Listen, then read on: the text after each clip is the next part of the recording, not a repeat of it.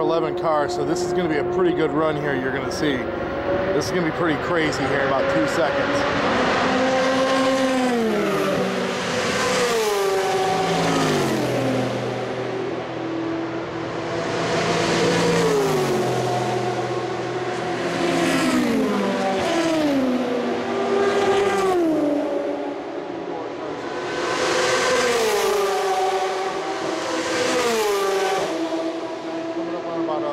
whatever space this is,